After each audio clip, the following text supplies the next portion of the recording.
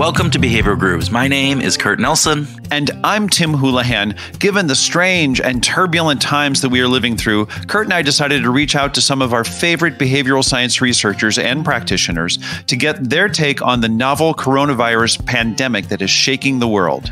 These special edition episodes will explore a variety of different aspects of the crisis and our response to each of those aspects through a behavioral lens. We know that you may feel overwhelmed by the crisis already. It seems every news story, every social media thread, every phone conversation that we have is focused on some aspect of the pandemic right now. While the news and updated information are essential, we're going to take a different tact.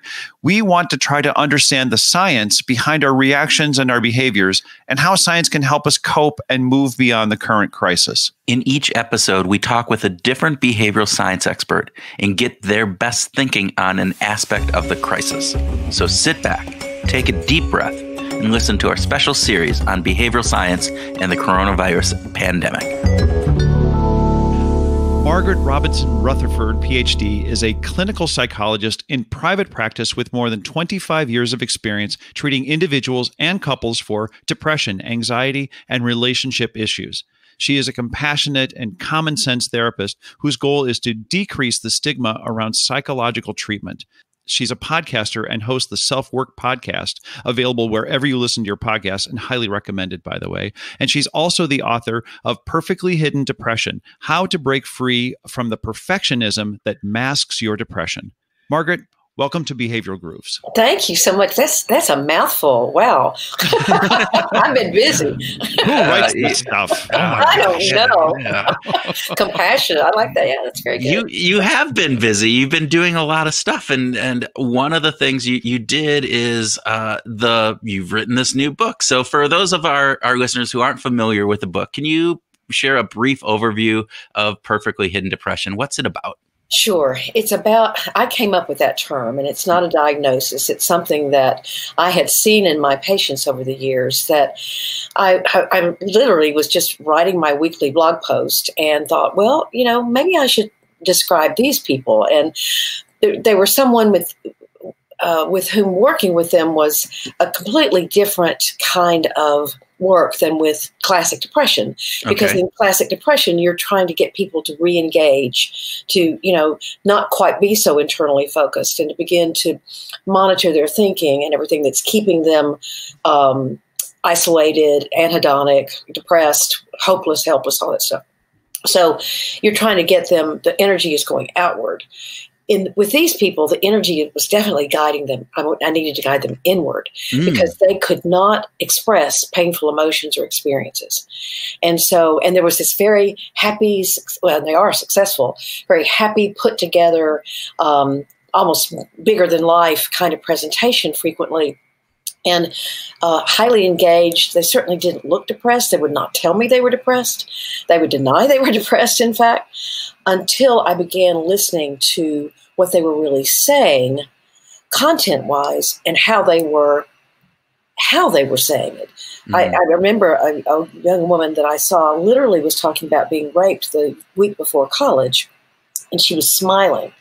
And I said to her, if I could turn down the sound and only watch your face, I would think you were telling me about what you had for lunch, not that you had had this violent sexual encounter, uh, you know, that you've never told anybody about. So anyway, that day I said, I'm going to call it perfectly hidden depression. And I wrote the post, The Perfectly Hidden Depressed Person Are You One?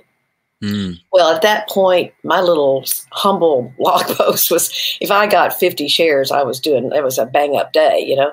And um, I it, it, was going viral. It was people were my laptop was beeping and I didn't know what was going on. I didn't know enough about what a you know going viral was. And then the next day, at the time, I was uh, writing for the Huffington Post at the time, and um, so they they published it, and I had forgotten that I had left my email at the bottom of the post. Oh. I got hundreds of emails. This is me. It's like you're in my head. How did you figure this out? How can I get help for this? So I started looking mm. about what was going on in the research and the literature, the popular literature about perfectionism and depression. Y'all are, you know, y'all know that perfectionism has long been understood to be a character trait that's kind of problematic, can be. But was there, who was writing about what I was seeing, that this sort of perfect looking life was beginning to mask, was well entrenched into masking emotional pain. Mm. And even even depression, even suicidal ideation. I thought I found Brene Brown, of course, mm-hmm. uh, but even she, I could not find. Maybe because she's a researcher, I could not find what how she was talking about it. She was talking about how to change perfectionism, but not where it came from. Mm. How did it get started as this strategy for life? So basically, I'd never thought I'd write a book. I'd never wanted to write a book. I thought, well, maybe I'll write a book. oh, I love that. I so, the you accidental know, author. There the you go. That's great. I should have named the book that because that's really true. Oh my gosh. Um, so I didn't even know how to go about writing a book. So I, of course I read a book on how to write a book, mm-hmm. and uh, and then started this process and all of that. I gosh, I I began writing that soon after I uh, actually did the original post because then I what I did was just write some blog posts about it as I was trying to figure it out in my own head. What mm-hmm. is this? And so um, I decided it was a syndrome, like codependence is a syndrome. Uh-huh. Yeah, it's like a coping mechanism to some degree, isn't it? Yes, yes, it's a coping mechanism that is that is actually some people will term themselves as having smiling depression or uh, high functioning depression. Mm-hmm. And that's one kind of thing, but they know they're depressed. They know they had a hard time getting out of bed this morning, and they know that they have thoughts about hurting themselves sometimes. They know that, but they get up in the morning, they put a smile on their face, and they, they walk around, and no one knows they're depressed. That's one group of people who I was also very concerned about. I'm concerned about those people, but what I this group that I was talking about is really almost completely unaware of of this coping strategy that they have used because it began so early. And i believe for many people it was it's the offshoot of families dysfunctional families enmeshed families mm-hmm. being male uh, being abused. I mean whatever being neglected. I mean the child comes up with a strategy to survive, and it is I'm going to be very responsible. I'm going to be accomplished. I'm going to make everybody like me, but I'm not going to talk about myself. Mm. uh, so the, the, habit just if something was painful it was suppressed and then just stuck back in your emotional closet so to speak and just never to be gotten out in yeah. fact to be completely denied or discounted so um, that's what I'm sort of grappling with. And I'm open to someone saying, I think you forgot this. I go, good. I'm still learning, you know? Um, well, it's, it's interesting. So uh, it reminds me, I, I went, uh, when I was doing my dissertation, one of the, my cohorts on, on the group that, um, and, and a good friend of mine is actually Dr. Bill Rolowitz, and his dissertation was on executive angst. And and he was a he's an executive coach before he went and got his PhD. And what he had examined or what he found was that many of these people who had high, you know, they were senior level VP, the the epitome of of success in everybody's minds, right? They had the great job, they had the the fast sports car, they had the beautiful family, you know, vacation in France but they were they were painfully they, they were you know once he peeled back those layers they weren't happy. They were feeling like they had to maintain all of this uh, you know face to the outward world um, but really inside they they were they were struggling. And so i think there's a lot of that going on. I think it's probably a little bit different as you said it might be more of that happy smiling depression that, that they were doing but there's probably some of that in as well in, in what you're talking about. So well i wrote down that term yeah. executive angst because i think that's fascinating. And yes i would I mean, I have two people right now as patients who definitely come to mind that that's what they're talking about, and I'm going to go look that up. You go called ahead. out men. I thought it was interesting. You called out mm-hmm. men earlier in your description. Mm-hmm. Talk talk more about that. Why why did why did men come up specifically for you?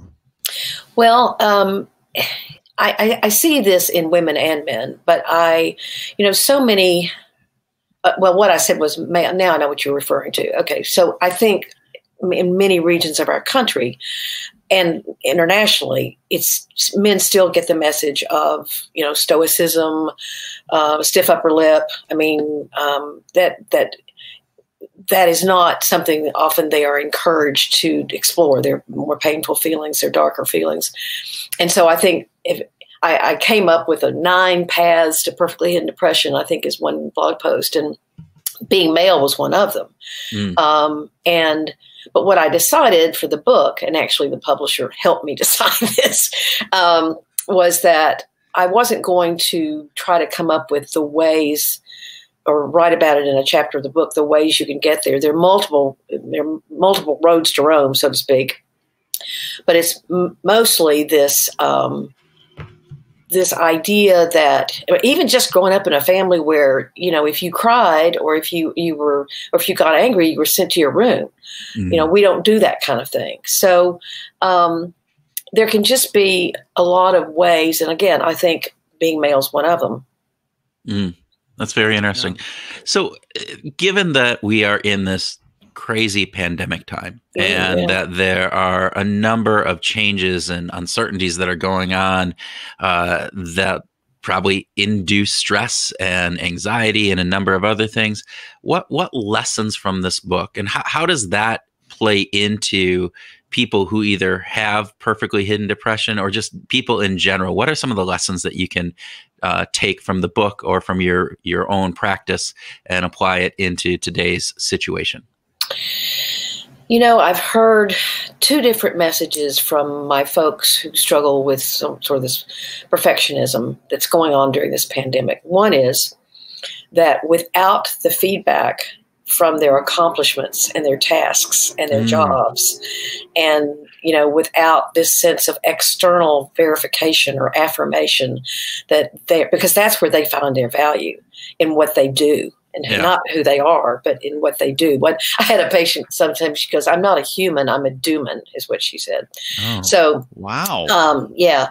So it is without that, you know, and sitting at home trying to take care of your kids, and then their anxiety can really skyrocket because they don't know how to internally soothe themselves. Um, it is in being that successful, accomplished person that they they their anxiety is quelled.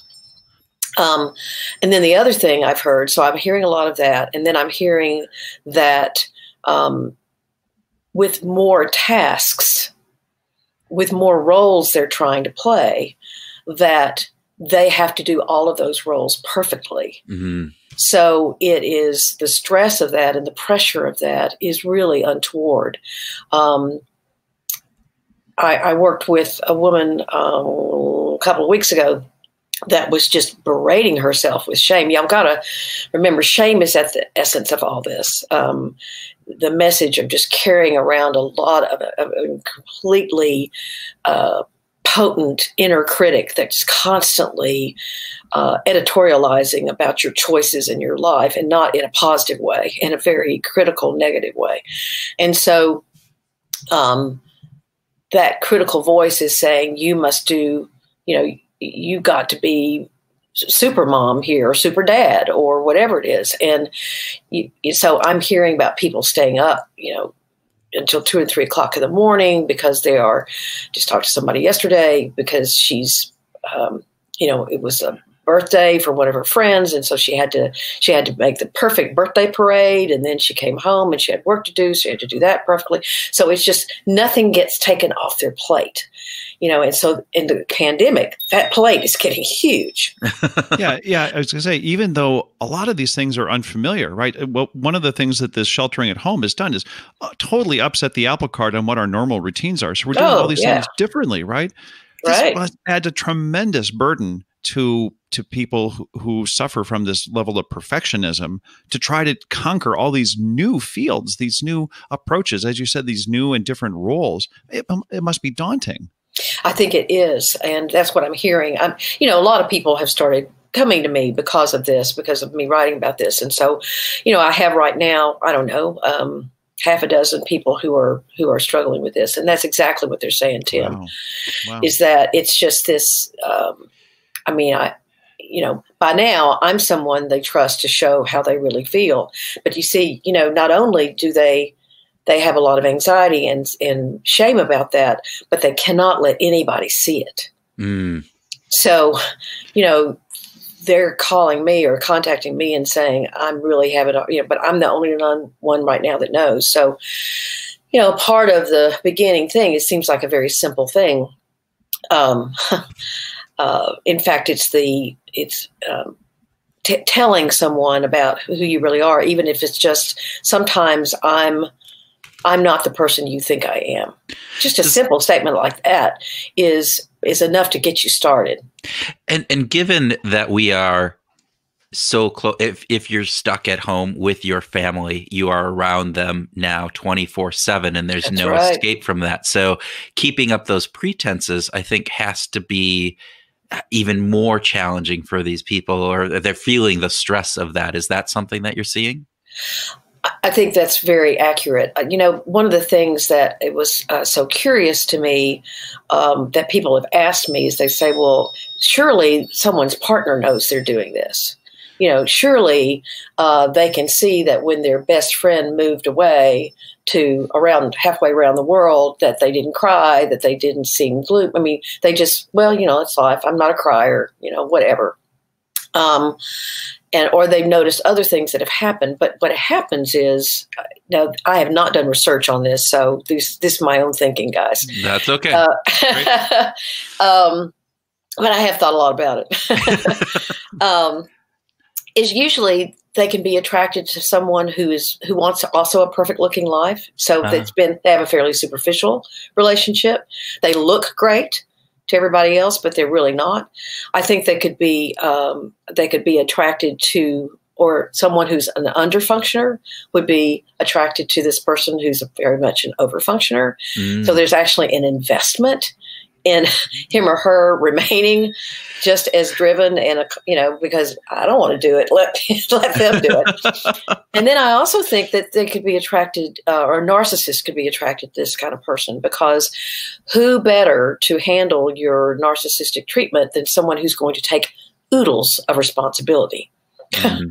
you know oh well yeah you know I did raise my voice. It must be my you know you're right blah blah, blah but I do think that there's a subset because I know um, that I've been contacted by partners of people who say just exactly this that, you know, she, she's only sleeping um, five hours or four or five hours a day and a night, and, you know, she never complains and you know I, but I'm, I, I feel like I don't really know her. Mm. Um, I, I've wanted to talk with her about this, and she just avoids talking like the plague. So there are some signs that you're in a relationship like this. And obviously, if you're together 24 7, then that's going to be tough.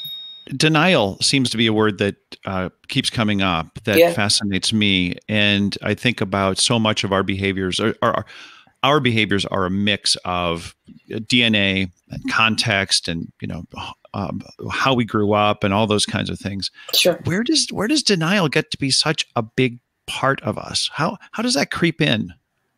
That's a really great question. I think uh, my, my thinking is that it's because you you get the ben, you reap the benefits of it as a child. Mm. Um, that you know we we develop these strategies, and one of them is to stop paying attention to what your gut is saying to you, or stop paying attention when you want to cry or want to get angry and because you gain the benefit your your dad laughs instead of taking another drink. Um, you get acclaimed at school whereas you're being you know screamed at at home. You get there are benefits to you beginning to well not just beginning but to having the habit of pretending or staying keeping things invisible to yourself or just you, you don't want to recognize how bad things are. And so you just push away whatever feelings you have and suppress them, deny them, dissociate from them, whatever you want to call it. And as you're reaping the benefits or what you seem what seem to be benefits to you at the time, then that becomes your way of emotional survival. Mm. And th- then what happens is we move that survival strategy into adulthood with us, and it it doesn't work, or it starts not working. I mean, um, and I have found that it is compassion that is really what people do not have for themselves.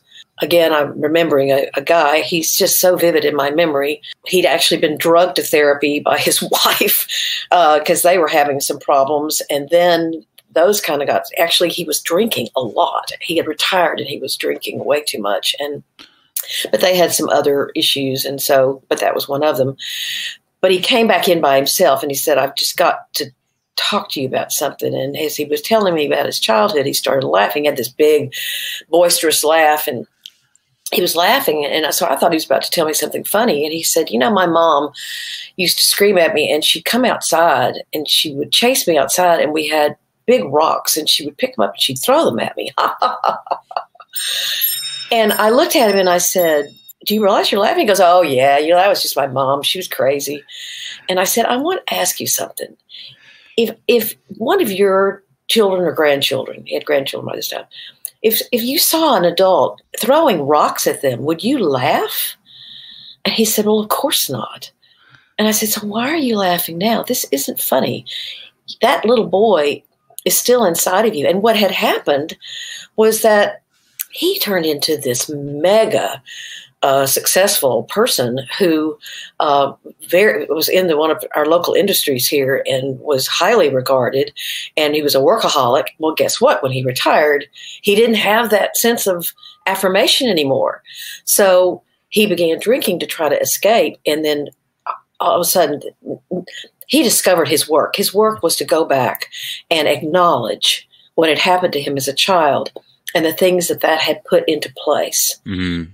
So, do you think with the the coronavirus, and, and as you talked about in in your book, one of the things you talked about denial is that it has this, it can get in the way of awareness and of mm. mindfulness, right? Sure. So there's this piece of denial getting in the way. I, I can see where uh, as you just mentioned this this uh, the the last story that you just told, uh, the coronavirus might be eliciting some people out of that denial, or, or maybe forcing them to to face that denial. Are are you seeing that, or could you uh, extrapolate out to see where that might happen? Is that something, or am I way off base in, in my thinking around that. No, I, I, it's definitely an extrapolation. yeah. Uh, yeah. I'm going to answer your question in kind of a round the barn kind of way. Okay. That's okay. I'm from Arkansas after all, you know. um, so I got, I got, a barn too, so I'm I the first, the very first exercise in the book. Okay, there's like over 60 of them, so it's more of a workbook, obviously, than it is a book. Is to simply come up with a mantra just a short phrase, and I give us some examples of where you are and where you, what's the very first step. Like, um, I want to be kinder to myself, or I want to learn how to play, or whatever it is. I've had a lot of people, well, a lot. I mean, it's not a New York Times bestseller, but it's a lot for me. Come up, say to me, I've had to skip the first exercise because I can't come up with the perfect mantra. Oh, wow. And I write all these down and I think that's not that's not good enough. That's not good enough. That's not good enough. And so I said, "So there's your mantra." And and both these were both women who talked to me. And I said, "What do you mean?" And I said, "I want to be able to come up with a mantra." that's where you are. So you just take yourself where you are, and that becomes your mantra. But these folks, the reason why I thought about this, as you said, what's happening during the pandemic, is I do think that whatever sort of ritualistic behavior, maybe even a little OCD behavior, because people can have OCD that, you know, or problems with panic and anxiety um, that have, um, again, it's a syndrome, it's not a diagnosis, but could struggle with perfectly hidden depression. And I, I do think it is it is they're realizing that even the most simple of things, now that life has gotten simpler in some ways, yeah. That they're carrying around a lot of anxiety about how do I even do this very simple thing absolutely perfectly. And what has what is shining more of a light on it, I think, is that um, it just it's it's not as complex as their normal world, but their perfectionism remains. Does that make sense? Yeah. yeah. Well, and as you said, there may be a bigger plate of many things on it. So right. while it's simpler, it may be more, and the, it still lends itself into that whole aspect of it. You know, I am I just, I had this thought all of a sudden. Um, I want to tell a story that's a true story. It was two weeks ago now. I got a LinkedIn message from somebody who was interested in talking to me about the book. And so we set a meeting and everything. And she said, But I have to tell you why I'm interested in your book. And she said, I have a friend who just told me about a friend of hers that died by suicide. She was successful, engaged, productive, loving mother of, I won't say how many. And she said her husband told the friend of a friend, no, no, the friend, that he had found my book on her nightstand mm. after she died. And so the thing we haven't talked about yet is the very seriousness of some of this. That um, actually, I have in my meeting with this woman, um, she also told me that they've had three suicides in this last year in this little area of the country in which they live of perfect looking moms. Mm. And so um, this can be very, very serious for someone. And they can truly, I mean, Kate Spade, of course, I think she was being treated for bipolar disorder, but she didn't want anybody to know. Mm-hmm. And so this is, um, I think, and so do some of the researchers up in Canada that have done all this work on perfectionism and depression, that perfection, the rising rate of perfectionism is one of the reasons we're also having a rising rate of suicide. So when you think about the severity of of this, um, and for you know any of the listeners that we have on here, what are what are some of the signs if you were uh, again, as you said, you know, sometimes spouses and even close friends may not know this. Are, no. are there signs that you can identify uh, with with somebody else in order to to help say, hey, you know, let's let's actually explore this because I think this could be could be important. Well, there are, um, as I came up with them when I was writing the book, I call them 10 traits of perfectly hidden depression. You can look for those traits. But again, some of that is not going to look like illness because know? it's because it's internal to them and so you it's it's, it's again they're they're projecting this perfect world on the outside right. but it's all the stuff that's going on inside with them. But it's, yes that's exactly right. But you know they're going to their lives are going to look perfect. They're going to be very successful. They they will not tell you about the shame that's fueling that. They're very responsible. They, they worry a lot. They need a lot of control. That's something you might see gosh you know he needs a lot he's he's just not comfortable with he can't even ride in the passenger seat you know or something you know uh, does that ring true for anyone i'm not raising my hand but um, that's familiar I, I, prefer to actually ride in the passenger seat. like, hey, you want to drive? Perfect, awesome. um, you're going to see them never be vulnerable. You're, they're going to say things to you like, if you even said, "Well, you know, you never really say what your your childhood was like," and and they'd say to you, "Oh, you know, it's n- not worse or better than anybody else's," and I, you know, if I wanted to let you know, or if I needed to talk to you, I would. No, they wouldn't they would have absolutely no desire to talk to you. There's a real fear of exposure and vulnerability. Uh, that's why Brene Brown's work is so important to these folks. There's also a, uh, they're just uh, continually in motion. They're very successful, but they don't really know how to be emotionally intimate. They're also people who are, John Kabat-Zinn calls it, uh, and I'm sure he's not the only one, but I, I read it from him, called rigid positivity, meaning that if something happens, they are always going to say, you need to count your blessings. You know, this is these, you need to have gratitude, lots of gratitude. And I'm, of course, we need to have gratitude. I mean, the three of us are sitting here and we don't have COVID. I mean, I'm very grateful about that. But at the same time, all blessings have what I call underbellies, meaning they have things that are hard about those very blessings. And you can sometimes in fact, it's important to connect with those. I, I, I call it an underbelly because I I've used this analogy a lot. If you if you see a rock and it's it's on a sidewalk that you've walked you walk it every day of your life, and you step on the rock, right? It's a blessing that rock is there. You know, um, you use it, you step on it, it keeps your feet dry. But if you turn that rock over it's mossy and wormy and you know it's dark and it's got a lot of moisture in it and you know it's there's an underbelly. It's the same rock. Your strengths have uh, they have vulnerabilities that come along with them because it's the same thing. Mm. uh, i've written a book and it is a blessing. It got published. The underbelly of it is that i mean there are a lot of feelings that come along with that of vulnerability of um, fear, you know, my mother is deceased, so maybe nobody's going to buy it. you know? So, that, you know, that, that, one one for sure sale is gone. Right? Yeah. yeah.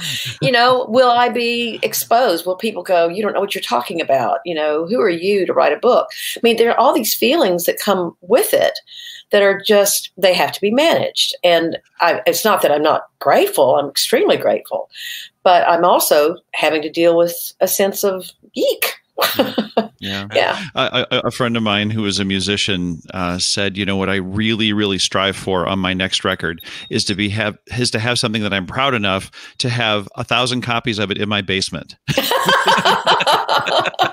I, I, wanted to, I, wanted to, go back to, uh, you know, we are really blessed to have this conversation with you uh, because you're so deeply entrenched in your clinical work. I mean, you are mm-hmm. working with people all the time, and I'm wondering how have things changed uh, pre sheltering in place to to actually now where we have lots and lots of people who are you know they've been kind of in this lockdown mode how uh, to what degree has your practice changed I've seen a lot of people's dogs. I, didn't, I, didn't, know about their dogs. Their dog will want to need to go outside, or their dog will be, you know, whatever. So I've met a lot of dogs.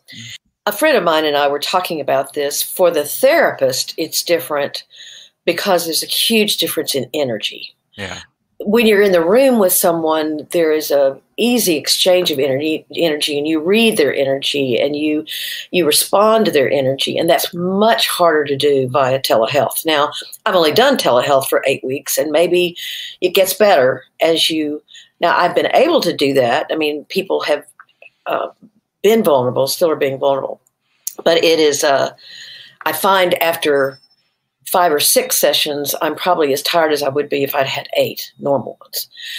Oh, what, that, that, that's really interesting. You're you as as a therapist are expending more energy mm-hmm. in each of your sessions. Mm-hmm. Well, we've heard similar things just from uh, business people talking about meetings, right? Where you know a, a normal day they would have five or six meetings, you know, in a row, and they're saying you do the same five or six meetings via Zoom or some sort of teleconference, and I, you feel just so exhausted. There's something about the the video aspect of it that we're not we're not accustomed to. As you said there's an energy that you get from people when you're in person with them and you're missing that energy. And so i think there's some uh, elements of that that we have to take into account. Uh, uh, so yes, as a therapist, I think that's that's key. I think as anybody who is doing this and as part of their new work, uh, it's a whole new aspect of we're not being able to to take some of that energy or give some of that energy to some other people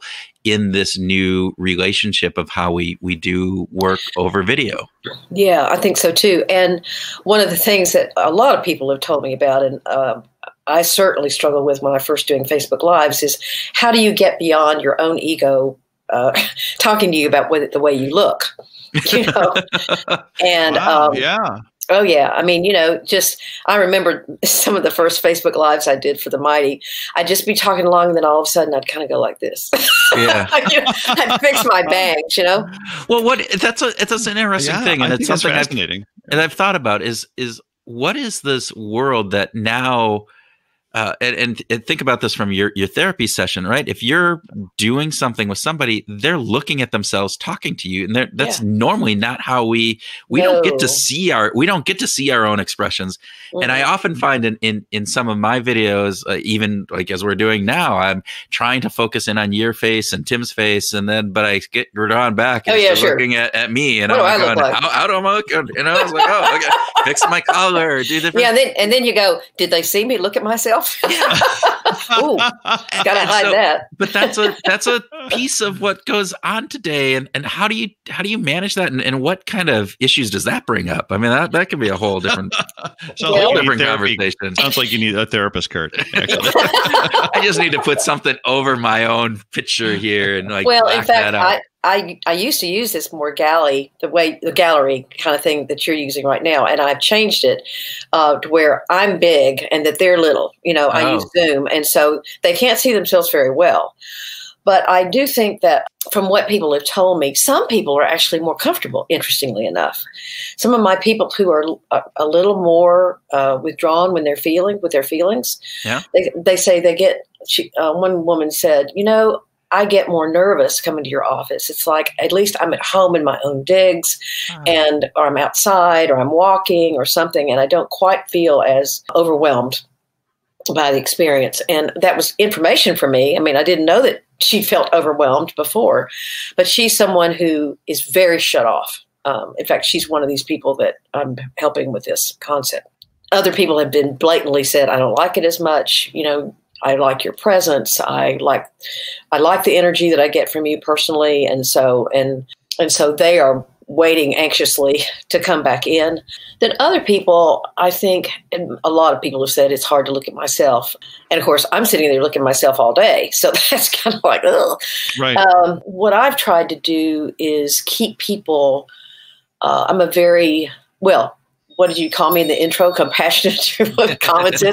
Um, but I'm really direct. I'm very yeah. proactive. And so I will say things like, you know, how are you experiencing this and what i mean we talk about the process as well as the content so because i want to know if there's something about the process that's bothering them that then i can try to address that mm. um, you know do you hear me all right you know it, it's it, just some of the you know people are bothered by the visual getting wonky and, and having to wait for that kind of uh, for that to subside. Um, so that is a problem sometimes. Um, but overall, uh, although at the very beginning, now back in March, I had some people say, "I'm just going to wait." You know, it would make me more anxious to try to work this out than, yeah. it, would, than it would add to my sense of stability. I had a couple people that were pretty, fairly new that said they didn't want to do it because they didn't really you know, we, we didn't have that connection quite yet. And so, um, but I'm still seeing 30 people a week. So, so it, it, you talk about those people who are new, right? And so that that brings up another interesting aspect of this virtual world that we are kind of in right now. And, again, different people are coming out of it different times, and so this may not be a long term thing for everybody. But you know, we we've gone through this, and the idea of building that relationship up in a new way, right? As opposed yeah. to an existing relationship. And there's a there is a lack of something in, in my opinion that we don't get when you you meet somebody face to face, person to person. Uh, there's a different, as you said before, there's a different energy around that. But I think that comes particularly true in uh, a new situation. And we've talked with some sales leaders in various different pieces who, uh, you know, they're going, it's been great for the, you know, we've been able to do some things from sales, business to business sales from a, a perspective of our existing relationships, but it's very difficult to do yeah. this with new people, new clients, et cetera. And I'm just wondering, that's interesting. What what so it sounds like you've seen that same thing with some of your maybe newer clients, but I'm sure even within this, have you gotten new clients and, and how has that mm-hmm. process been? You know, it's interesting that you say that because I was sitting here listening through the ears of is this a generational difference? Because the the uh, m- my two the two people that I've taken within the last couple of weeks are in their 20s. Uh-huh. So it may be that they're a little more comfortable than you know, those of us who are a bit older, uh, I mean, they've grown up taking selfies and taking pictures of their food and you know so uh, yeah. Well uh, no I, but I, mean it all counts yeah. It, yeah. yeah it all but i mean I, know i've talked about this many times as my my 14 year old son you know i've i've talked about this where a friday night before this whole pandemic not that different than a Friday night after the pandemic, right? He's he's sitting in his room on the computer playing a video game with his friends that are on the yeah. phone, and they're they're yelling at each other on the phone. But this is how they they interact. I go, well, why don't you just go meet with them? He goes, why? You know, it's like exactly. No, I, I don't need. You know, yeah, playing. Exactly. This is how we we communicate. So there might be. You bring up a really interesting point. There there could be some really generational differences in how oh, we are. You know, working through this? I uh, I have a 25, almost 26 year old son, and I actually after I started blogging uh, back in 2012, I apologized to him, and he goes, I said, I owe you an apology, and he goes, for what? Because in high school, he used to tell me that he would have these friends, and I really thought it was sort of an insecure sort of thing where he was talking about these friends that I never met and never saw. and I thought, it's just kind of like they never came over to the house. What uh, delusional? I mean, what's going on? You know. Uh, and now eight years later, I have all these friends that I've never met. Yeah. you know, and I would say, "Oh yeah, she's a friend of mine." You know, yeah. and it's like now I get it. I get it. yeah. And I think there's something to that too, right? The times are changing, and we we are we are learning new tricks, and uh, maybe the COVID has has kind of accelerated our, our adopting of these new ways of interacting and and doing things and so you know there's some positives that could come out of this uh, in the end too uh, with, the, with everything else that's going on. So yeah, I, I actually was in the middle of getting a telehealth certificate when I started having to do telehealth. Yeah. Uh, so I have a, another half of training um, uh, to do, but it's a, like a twelve hour training. That's the most basic you can get. Um, but because people have asked me to see them. Now, of course, there's the licensing issue where I can't do therapy with anyone outside of Arkansas. Yeah. Um, so if I call it therapy, I, you know, that's yeah. So you can call it consultation, you can call it a lot of things, just so you don't call it therapy. But I, I do think some of my patients may say, in fact, I've already been asked by two of them who are working moms, saying, you know, could we even after this is over, could we continue this because it's so much more convenient because they work yeah. from home or whatever, they could just zap on.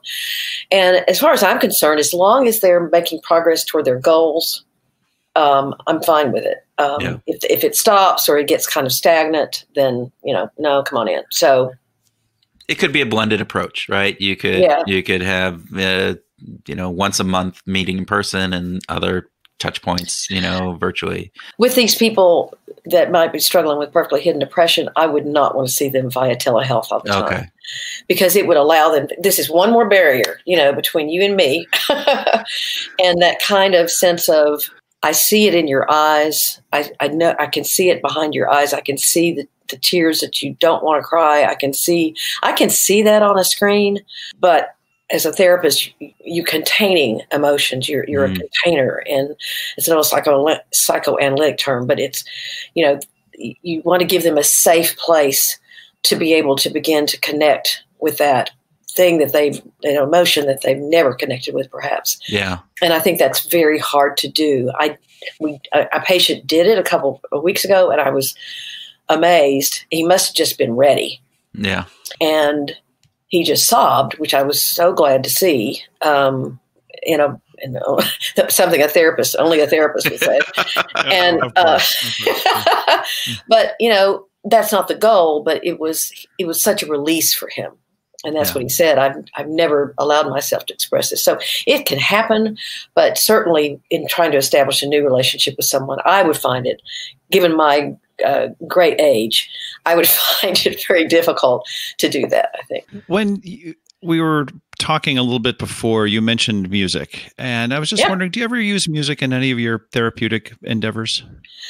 Uh, yeah, well, sure, I do. Um, actually, I was a professional singer in my twenties, and so I sang jingles and TV and radio advertisements during the day, and then I had a little jazz group at night. So um, I wasn't all that good a jazz singer, but I tried. And so, um, what got me into this, you know, becoming a psychologist, I, I had uh, I had been in therapy a lot, which had been a very positive experience for me. But this guy named Ivan came one night and he was subbing for somebody. He was the bass player. And Ivan was getting his degree in music therapy and told me all about it. And so I literally looked into it. I wasn't all that happy um, in the music business. It was I didn't like what it was doing to my own choices personally. And so I put all the money I had in the world down on the first year at SMU in Dallas. And I ended two and a half years later getting a music therapy degree. And then um, but I did my last internship at a psych hospital, and I thought, oh no, no, no, no, this is what I want to do. Oh. But yes, I do use music, uh, not obviously as actively as I would if I were still maintained my certification as a music therapist. But I will have people. In fact, I use all the creative arts. Um, I will use music. I will use art. I will use uh, sculpture. Um, I'll use whatever the patient feels drawn to do. Then they'll either write a poem or they'll you know, find a song that elicits a certain kind of feeling in them, or we can, you know, I've had uh, people when they've done the trauma timeline, they've often, which is a practice that um, about how to emotionally uh, connect with things that happened in the past, compassionately. Um, anyway, they'll maybe they'll create a song about that particular time in their life, or maybe they'll draw. Um, pictures and paintings and that kind of thing. I, oh yeah, the perfect office I would have would be you know, you'd have a waiting room, you'd have the therapy room, and then you'd have, you know, with me, and then I'd have this huge creative room that people could then go afterwards and create something, you know, that, me. And so I've never had that office. I probably never will, but that would be my perfect therapy therapy office. I love that. I just yeah. love that. I think that that's terrific. I can just imagine what uh, an, an, office setting would be like when you have this studio space to go yeah. to instantly. Yeah. And I have I have sung to the occasional patient. you have well, you know, I mean, I can remember two in 20, over twenty five years, um, and I'm not. I'm going to actually not even say what they were because they're a little embarrassing. But um, uh, and I can remember. I gotta ask. I gotta ask. well, let's just say there was an appropriate time for me to sing this little ditty. Um, let me see if I can remember. I can. I can't remember all of it. Chicken, chicken. What's good enough for me? Chicken, yeah, chicken. Something. I, that's all. for the little chick, H for the mama hen. I, cause I love that bird. C. What's the C for? I can't remember. For some reason, I don't know. I was getting silly, and they were they were. So I sang my song, and I thought, you know, they might take away but my the P of my PhD if they do. it's it's fascinating though the uh, music does as as Tim has taught me um, over over the course of two and a half years of doing this podcast the, the the insights that you can get from music and the the impact that it has on people is much greater than what I think a lot of people just just believe. There's something about that, and so you know, you singing a song or using having them you know come up with a song or any even just listening to music uh, is is really powerful, much more so than I would have ever imagined before before joining Tim and his crusade to to make me uh, uh, uh appreciate music. You're more. a pianist, Tim. Is that right? You're uh, guitar. Oh, guitar is my main instrument. Yeah, guitar. Oh, that's wonderful. Yeah. We ought to start a little group. American uh, uh, American folk. He, we we have some behavioral groove songs that that we, really? we have actually we've we've we've uh, produced and we just uh we haven't we have an album that uh we have all, all set to go. One You're kidding. Be, no, no, That's not kidding at neat. all. well, neat. Uh, we'll, we'll, we'll see about that. But yeah, songs, about, songs about behavioral science, Margaret. I don't know. well, Margaret, this has been really fascinating, and thank you so much for sharing your insights, and thank you for sure, for your time. We appreciate it very much. Well, it's been a delight. Thank y'all. Welcome to the special edition grooving session where Tim and I groove on some ideas and concepts that were inspired by our conversation with Margaret. All right, Mr. Houlihan, what inspired you on this conversation? Margaret was so hopeful. I got to say, just uh, you know, thinking about our conversation with her, she really had this warm, warm, hopeful vibe about her, and I really, I really appreciated that and liked it, uh, well, and, and found that important at the time. You know, well, and even even from this perspective that she is working with people who are not in a good spot. Yeah. Right. That her work is really focused in on people who are going through a very difficult situation because of, of some of the issues that they're facing and, and the way that they, they deal with it. And, and to be hopeful in that, I think is great. I, you know, I, yeah. I, one of the reasons I picked IO psychology as opposed to clinical or counseling or any of those that where you're having to actually listen to people and and work with them about their issues is is I don't know if I could be a good person after having to deal with that day in and day out. I, oh my gosh, that's hard. It's hard, hard work. Yeah. And and I I am so grateful for people like Margaret who do that because it is a really important work. Uh, it's just work that I don't think I I could do. I would I'd go bonkers because he would take it so serious like he would take every individual client's uh, issues like to heart is, is I think that's I think that's part of it. I think there's the aspect of of you know having this view. So I, I go back. Uh, I you know when I first got out of college, I worked for ITT Consumer Finance, and in that job. Uh, I was a loan officer and, and I gave out loans to, to people. They were loans of last resort. So these people couldn't get loans anywhere else. But as part of that, um, we had to do our own collections right? So so half of my job is is closing these loans. Half of my job is collection. So I'm calling people up on a daily basis. Hey, you're late on this payment. You're late on this. You know, at the end of the month, we'd go out and do chases where I'd actually go do collections. I'd knock on people's doors asking them for money. You would literally go to someone's house or apartment and knock on their door and say, "Give us the money. Give us or the, give us the stereo." Yeah, and and so I would be doing that. I have lots of interesting stories from that time in my life. But what I realized really quickly is that I started off and those people in the loan, you know, in the booth as we're closing the loans, I'd be like, "Oh, great! I'm helping these people out. They're buying this new TV. We're getting a loan for them, or whatever that would be."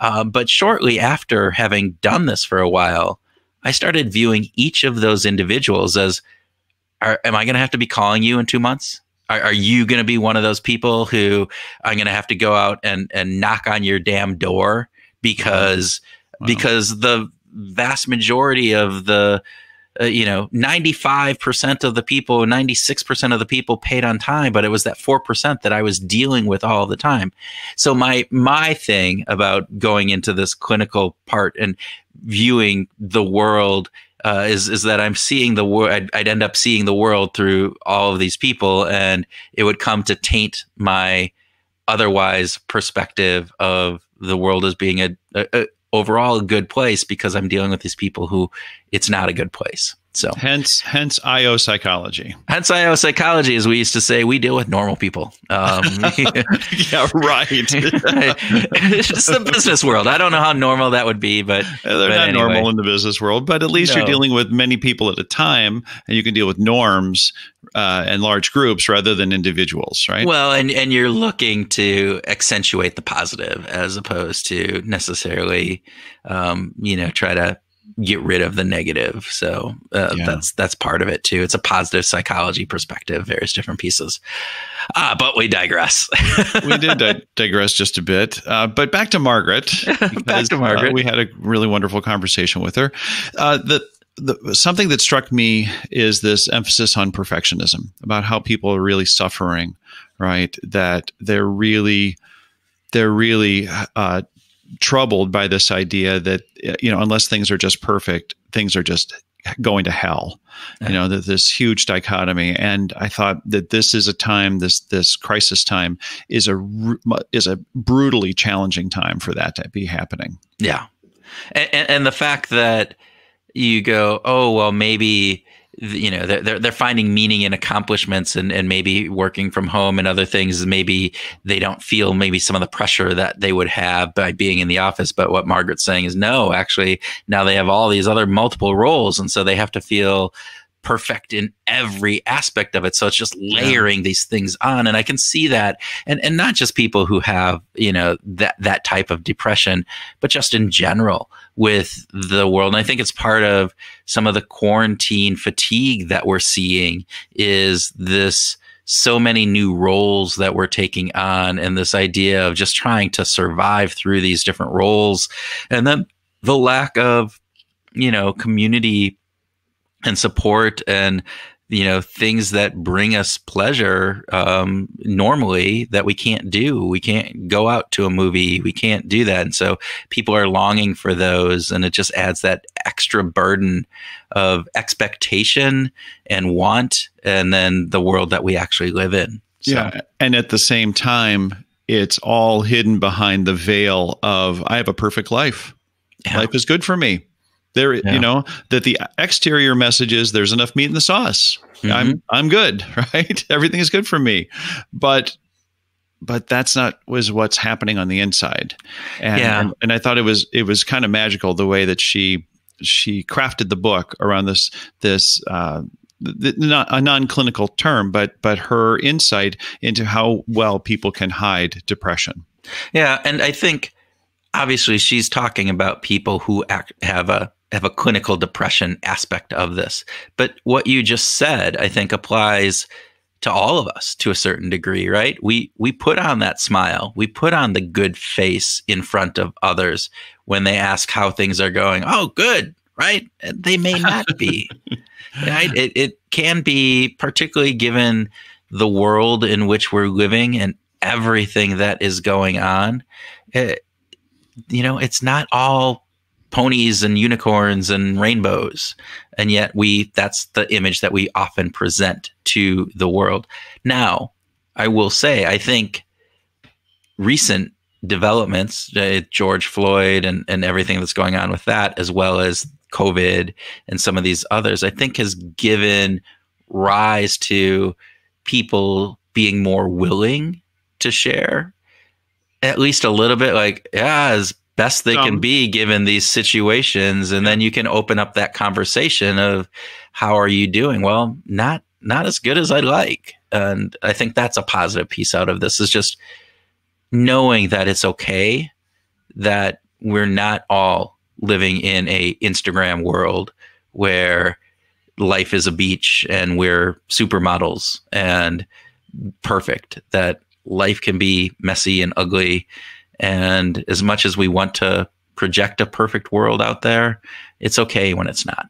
Yeah, it's tough though that we've got this Facebook depression, this Facebook perfectionism that that we need to have Instagram perfection. And at the same time, we are living in a world where there's a lot of complexities that we bring different faces of us different facets of, of ourselves to different situations i remember um, uh, uh, someone that I knew uh, chastised me for for being particularly nice to her parents when I when I met her when I met her parents, and she said, you know, you don't have to suck up to my parents. I was like, I wasn't sucking up. I'm just I'm meeting them for the first time. I'm just I'm just being cordial, and she's like, yeah, but you know that I don't like them. I'm like, that's not my relationship with them. I get to have a relationship with them that's based on my experience. and and I thought, you know, and, and she's like, well, you need to adopt my perspective on this. I'm like, no, I, I get to have my own perspective on it. And, and yet that's still just one facet of, of, of who I am. Right. That like they, those, the, her parents were just seeing this tiny little bit of me. They mm-hmm. were just seeing this one facet. I was bringing that one facet to them uh, and kind of hiding everything else I, to, to some degree. I mean, if you want to take it to the extreme, I don't know. I, I, just think that we're, we're, complex and, and that, that it can be confusing in a, in a world where we have all these complexities and we have all these layers, uh, that it could be easy to say, I'm going to make sure that I really bring the, the, the most, uh, the purest, cleanest, brightest, shiniest, best version of me to the surface. That, and of course, this is where perfection becomes the enemy of good, right? Yeah All right. Yeah. Because uh, we can just get obsessed with that. Well, and this idea that we are, uh, you know, we have our own worldview. And that worldview influences how the the context of today impacts us, right? We we have our own lens that we view things through. So as as Margaret talked about, you know, the lens that many of these people viewed it is that I have to have these accomplishments otherwise I'm not a good person that I have to that everything has to be perfect or it's not good and added on with everything that's going on in these times it just adds that much more stress and it piles it on that's a different worldview than I have for damn sure, right? Because I am right. You can attest to I am not Mr. Perfectionist. I'm right? living the dream, man. but you know, just that understanding of bringing in those different perspectives into conversations and being aware that the person that you're dealing with so you're you know person that you talked about well this is how my my relationship with with my parents is this and yours needs to be that way. No i have a different worldview and i have a different background and i don't have to share yours but it's good to understand that. It's good to know that. So yeah. we digress like yeah. we always do. Uh, but i've got a musical question for you La la la la la. Not that one. Oh, good. A different Because my musical, you were going to ask me to sing the La La La song, and I was going to have to say that, I'm horrible at that. That was going to be it, but it's not going to be now. Oh, okay. Uh, well, so we're talking about perfection and lack of perfection, and I'm just wondering, what is? Do you have like a favorite track uh, where you know that the musicians kind of flubbed, where it wasn't perfect? Was there something yeah. that just wasn't perfect in a, in a particular track, and you're like, oh yeah, I still love that. You know, I'm sure there's lots of of songs out there. One of the things that that I, I, just don't know if I would even know if they flubbed up, right? I, I, am not that musically inclined. You know this about me, right? They could hit the uh-huh. totally wrong chord, and I'd be like, "Oh, that's okay." I didn't realize that. Um, that being said, I, I, I know that there are differences in like the uh, studio recording of some songs versus the live recording of some songs, and and the pitch is a little bit off, or the uh, sound is you know maybe there's too much bass going on, um, but there's an emotional component to those sometimes. So the music is off, but there's another aspect of it that I think parlays into that. Um, it, it, you know, I, I will go back. I'll, I'll, go back to maybe a group that you might know, right? Cheap what? Trick. Cheap what? Trick. Yes, right. I do. You know, live at Budokan. Yeah. Live at Budokan. Okay. Right. And and you you you hear those songs and they're they're well and I don't know if they've messed up musically or not, but you hear that compared to the the studio version of of some of those same songs and it's just different um, okay. and it's probably. Were you expecting like an Eagles kind of performance that exactly replicates the record note for note? See, I don't know. Uh, that's that's the thing, and, and, that's like there are so many of those times. Uh, so Trip Shakespeare, local Minneapolis band from around here, um, that actually Dan Wilson, who left and formed Semisonic with with with John Munson, um, you know, but they were a band, and if you saw them live, you thought these guys are going to be the next huge thing. I mean, it was just such energy and such uh, great, you know, showmanship and all of this other aspects and musically, again, I, I don't know if they were perfect. I mean, I remember they do this little drum beat to the uh, song they call called the pants, and they all get up around the drums and they all beat it. Right. And I know they probably messed up on that at some point, but man, it was just power, and there was this great energy around it. And then you listen to the songs that they did, the studio albums, and you're kind of going, "Eh, I'm bored."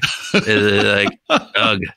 And musically, it was probably perfect right? But it didn't have, it didn't capture that magic. And so I didn't answer your question, I am sure, but I think there are these things where there, there can be magic that happens in imperfection. Yeah. And that is a, a, a wonderful. Things don't have to be to be magical. You don't have to be perfect. That that's there we go. Yeah, that that's that's great. Of course, there's so much affect, there's so much emotion in music, right? That emotion will carry us over logic, you know, it, it, all the time, basically. Yeah, right. Yeah. Uh, but there are really great tracks that uh, have gone down in history with some pretty obvious flubs, like um, Led Zeppelin's Black Dog. You know, okay. just skip a beat just missed missed a beat. There's it's you know it's, it's supposed to be four four, and they just missed it in in one particular bar. They they just missed a beat. Yeah, and you go, but it works, you know. and and it was obvious to me as a musician the first time I heard it, was like, whoa whoa whoa, wait a minute, wait a minute. I think they just missed a beat on that, and in fact they did. But it's like you know the whole the whole song hung together.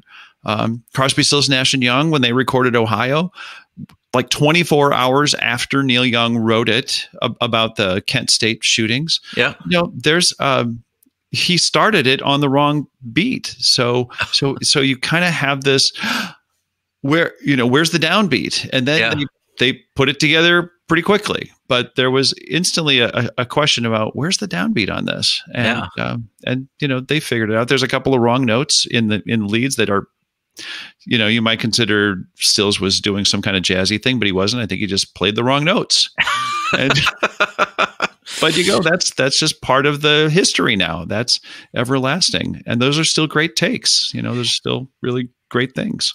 And and there's a part of that that then again, as you said, some of that emotion pulls you through, but then those mistakes actually become integral to the song right? And so yeah. yep. if you heard, you know, that Crosby, Stills, Nash song, right, and and it didn't have that start, it would feel off. Now, right? exactly. Same thing with Black Dog, right? It, that missed beat. That it, you're, it, you be, you're going, wait, that's you know because you've become accustomed to it, and now that is that song, and so that's the thing. I think perfectionists, right? We we if we have that perfectionist um, gene in us if that's what it is or what causes it i don't know. I don't have it so i wouldn't i wouldn't understand. But this idea that hey there's enough meat in the sauce and sometimes sometimes those mistakes are the things that actually make something even more special that they take it beyond because if it's perfect it's planned it's it's programmed it's the uh perfect speech that has every right word, um, every intuition, but there's something that, you know, it's not human, it's not real. And there's an aspect of imperfection that brings the humanity into things that can connect us to it, which I think is a big piece. Thank you for listening to the special episode of Behavioral Grooves. We hope that you found it interesting and insightful. If you liked it, please let others know. We think that the topic is important and maybe we can help in educating people about how behavioral science can help us all out in this current craziness that we are going through. Also, please let us know if you have any thoughts or ideas that would be helpful or that we could share. You can reach us through the Connect tab on the Behavioral Grooves website at www.behavioralgrooves.com or through Twitter. I'm at T Houlihan and Kurt is at what motivates. We really do love hearing from you, and this topic is one that spurs lots of emotions and thought. As part of our mission, we want to expand and inform the community of people who think about positively applying behavioral science to life. One way that happens is through leaving reviews. If you think this podcast is beneficial and should grow, we would really appreciate to leave a review on Apple Podcast or whichever podcast server you use. It only takes a few minutes and goes a long way to boost us in the algorithms that are used to generate search results. Also, please check out the show notes. We are linking to a number of resources articles, podcasts, newsletters that we vetted to bring good facts and ideas around COVID 19 and the coronavirus, its impact, and ways that we can help slow down the spread. There is a lot of information that's being pushed out to everyone each day, and we are weeding through it to find good stuff so that you don't have to. We truly appreciate you listening. Now go out and wash your hands.